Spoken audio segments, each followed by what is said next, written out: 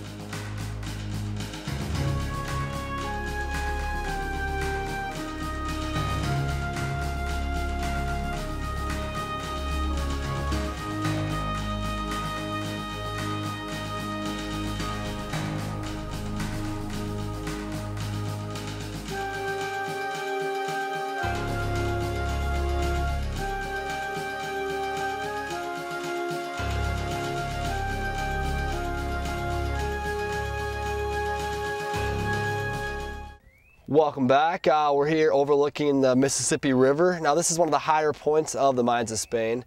And the Mines of Spain has a very colorful history that dates back before Julien Dubuque to the Meskwaki Indians. The village was located at the mouth of Catfish Creek. From this site, the Meskwaki carried on a fur trade with the French voyagers. They also worked the lead mines for many decades, dating back to before the Revolutionary War.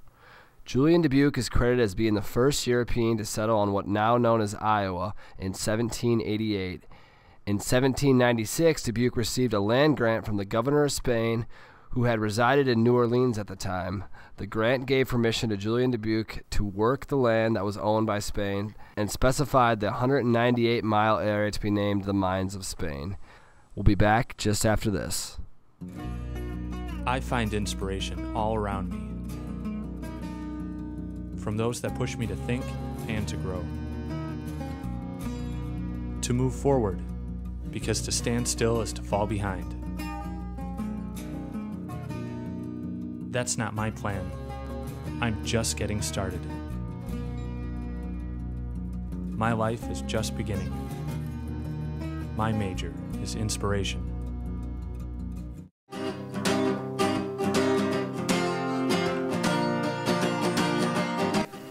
Name's Jackson Breitbach. I live in Dubuque, Iowa. And this is my first song for you. And I know that one day you're gonna have one too. Uh, one of my favorite genres of music is um, alternative folk, which is a, kind of a more modern rendition of uh, acoustic music today. And I knew I would see her again, No idea when. Some of my favorite artists play that genre and um, have taken it places that I couldn't even imagine. Um, most of the songs that I perform are of that genre, and uh, the one that I'm going to perform tonight I wrote. And uh, I don't really have a title at this point, um, but uh, I guess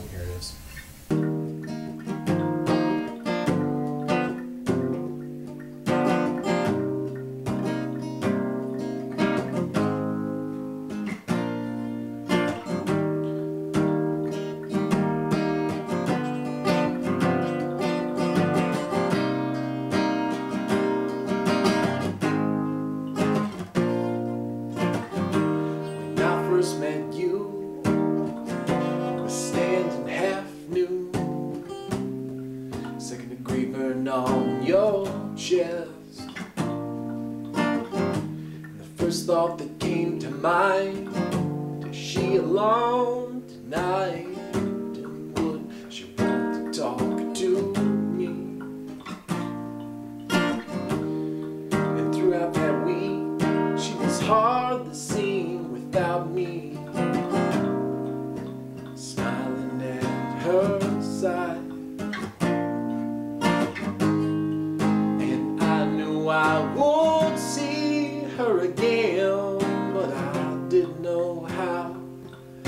And I had no idea when.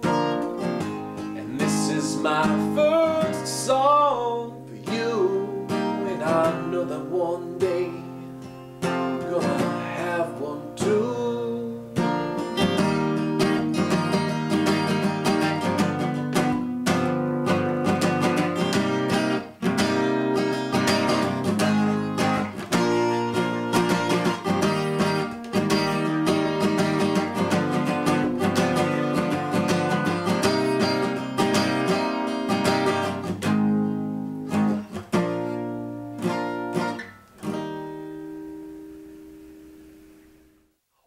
Welcome back. We want to thank Mohit for that piece on Jackson Breitbach. Next up, director Josh Shelov and actress Kate Mulgrew came to the Mindframe Theater in Dubuque to show off their latest movie, The Best and the Brightest. Take a look. And I live in New York. These people exist. Dubuque-born actress Kate Mulgrew came back to the hometown to screen her upcoming comedy film, The Best and the Brightest, at the Mindframe Theatre last weekend. To go home to your battery powered friends. The director and co-writer of the film, Josh Shelov, was also present at the show and talked to the audience after the film show. We have a five year old daughter, and we're looking to get her into kindergarten this fall. On planet Earth. That's a good one. And it's about a couple that moves to New York City from Delaware, and they encounter the difficulty of getting their kid into a private kindergarten on the Upper East Side, which is sort of a, a what do you, what do you call it, an uptown problem. Director Shelov and the actor said that they were glad to see a great response from the Dubuque community, especially for an R-rated film. The story is inspired by Shelov's and his friends' own problem of getting their kids into private schools in New York City. The writers also wanted to get a good farce, so they brought the ideas together to write the story. Mulgrew's character in the film is nameless. Kate Mulgrew uh, plays the player's wife. Responding to questions about characters of the film, Mulgrew said, You know, improvisation in film, I think, is, is, is very hard. Um, if it's not well scripted, uh, it can fall apart very easily. Neil Patrick Harris, Bonnie Somerville, and Amy Sedaris are some of the other actors in the film. The movie is R rated and set to release in June this summer. Shall we say a, a, a sexy sort of plot twist? Actor Mulgrew has been Mary Ryan on the TV series Ryan's Hope that aired from 1975 to 1989, and also Captain Janeway in Star Trek Voyager, among other notable roles. For Canvas, this is Raz. Next up, we have our very own Nick Glab, who went to the IVA exhibition to see what Loras College artwork looks like. Take a look. Art can be shown in many different ways, which is probably why the IVA exhibition at Loras has grown in popularity each and every year. In its sixth year at Loras, the IVA exhibition has proved to be one of the biggest events on campus. With self portraits, electronic art, unique sculptures, and even videos, the artwork at the IVA exhibition had a creative feel of its own. As with every exhibition, there were some students who won awards for their work. Christy Olberding, a senior IVA major, describes the experience of creating art.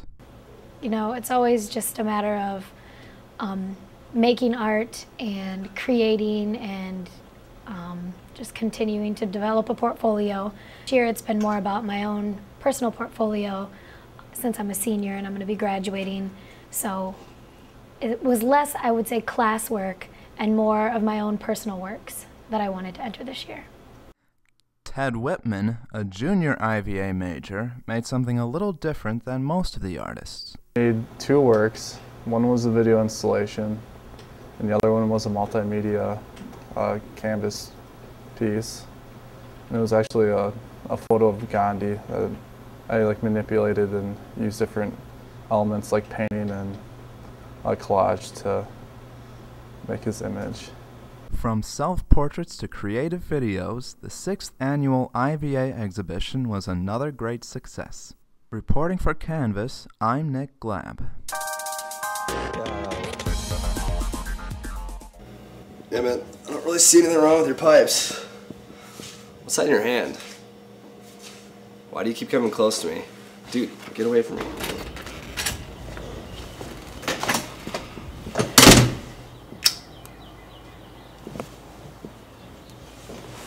Hey, what's up?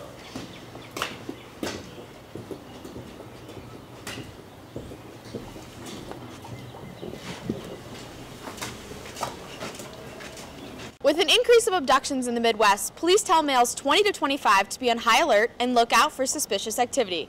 For Channel 17 News, I'm Caitlin